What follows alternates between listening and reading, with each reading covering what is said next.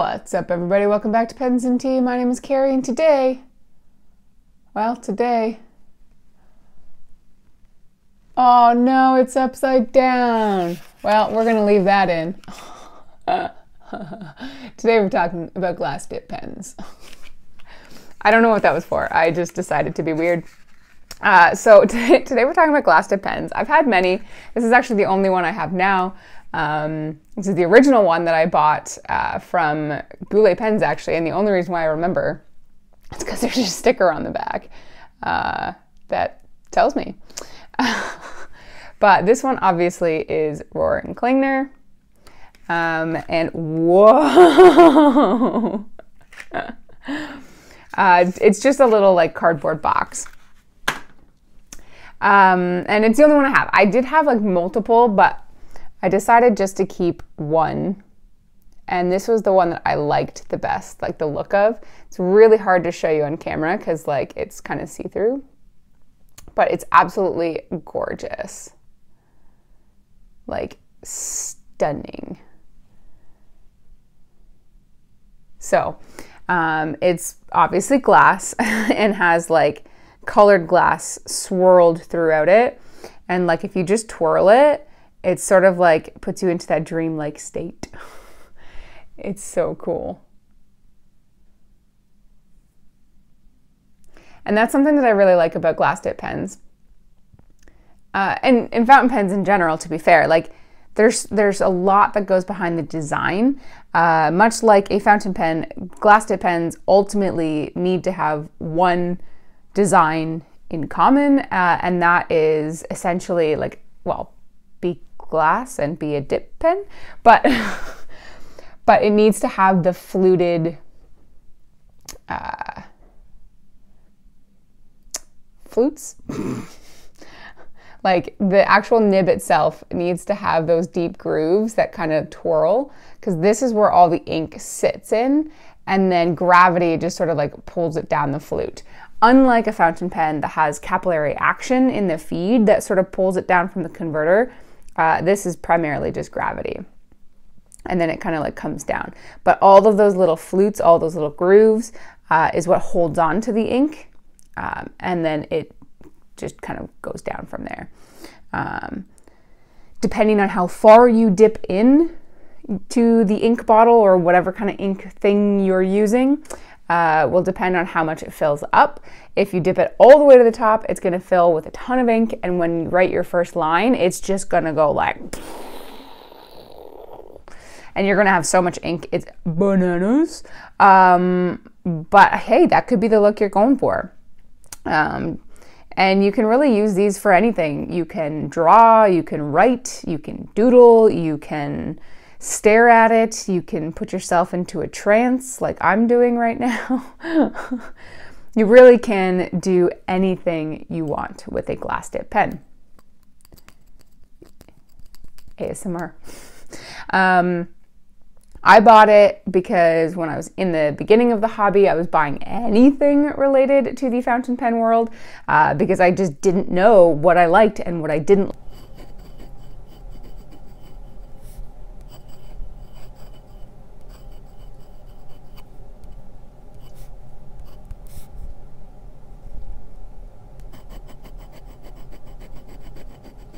like uh, and I like this one quite a bit. Um, like I said, I've purchased multiple now, and I realize I don't need multiple. Uh, unlike fountain pens, where you can never have enough, but always seem to have too many. uh, I'm 100% satisfied with one, and I don't feel the need to purchase another. The only reason why I ever would uh, would be for twofold: a, if this broke um, slash lost it, or b, if one comes out that my jaw just smacks off the floor because it's that beautiful. Uh, but I have yet to have that. So I'm good with just the one because I don't use it super often. Uh, there's two main reasons why I use a glass dip pen. The first and probably the most common um, or most frequent reason why I use a glass dip pen is when I buy ink samples uh, and I know that I'm not going to put it in a pen right away. and what I mean by right away is like a couple months, uh, then I will use a glass tip pen just to kind of like write a few lines, play around with it, um, just to sort of experience that ink sample right when I get it. Um, excuse me. And then kind of put put it to the side and go through the rest of the samples I have or, or whatever. Um, so to test out ink samples is pretty much the main reason why I use a glass dip pen. Um, second reason is sometimes I do like to uh, either sign my name or um, like sometimes Christmas cards. I'm I'm super consistently inconsistent with Christmas cards or holiday letters, uh, but I will use glass tip pens for that because I'll use like shimmery inks.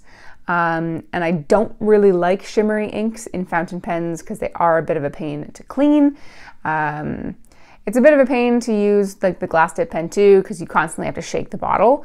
Uh, to be fair, shimmery inks are just a pain in general, um, but it's way, way easier uh, to clean out of a glass tip pen because really all you do is either like swirl it around in a cup of water, run it under the sink for like a second, and you're good to go. Uh, you can also use this for uh, like pigmented inks. Uh, you could use it for calligraphy ink. You could use it for fountain pen ink. Um, you can use these really for anything because you can't damage it. Uh, theoretically, you could stain it, um, but you're not going to like damage the function of the pen uh, which is kind of nice.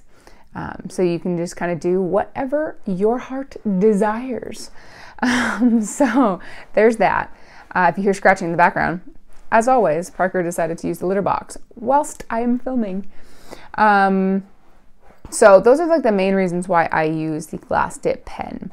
Um, and I mean, I I really like it. It's not a super duper smooth experience always um, because it does kind of depend, you know, on the paper you're using, uh, how smooth the tip of the glass is.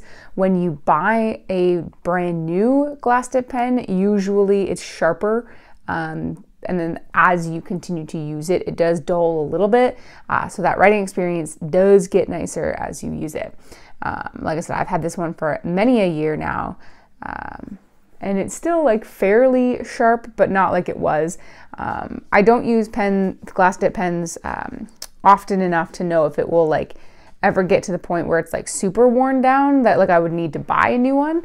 Uh, if there's anyone watching this right now who does use glass dip pens very, very, very consistently and has had that happen, please let me know and let everyone else know in the comment section down below, um, just so that we can have that as part of the community.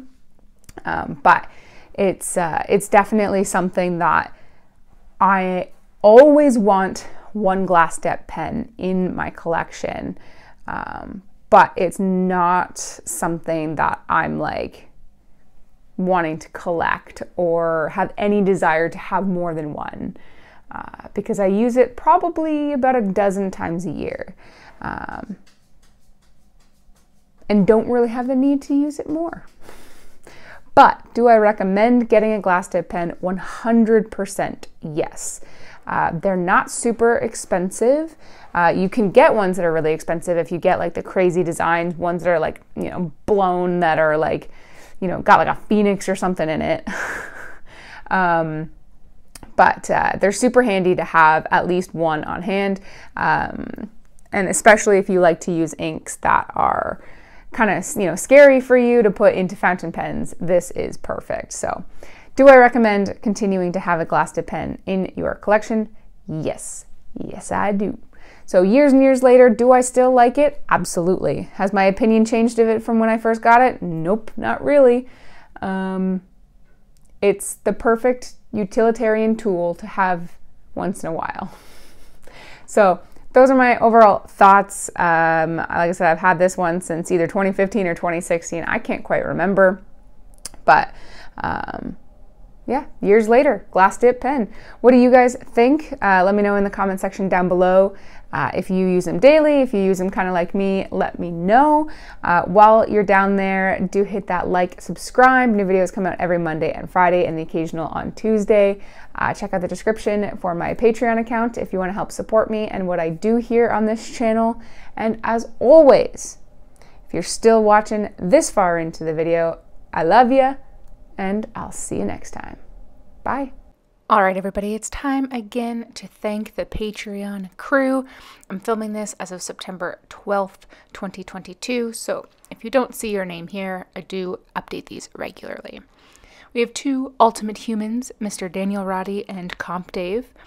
And for my VIP tier, we have Susan, McCall Bennett Lawrence, Karen Epstein, Gretchen Peters, Carol Lowry, Michael Simon, Subiwan Kenobi, Catherine Molina, Waylay Chang, Brian Law, Bill Pemberton, Lucas Bell, Robert Myers, Marissa Calvo, Eric Lineman, Jessica Chow, Digital Tent.tech, Brian Hunter, Bobby A. Bailey, Bass, Joan Worthman, Luna Wolf Games, Aaron C., and Glenn Kelly.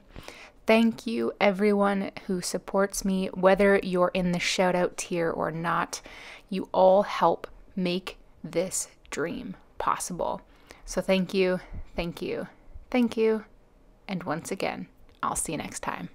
Bye.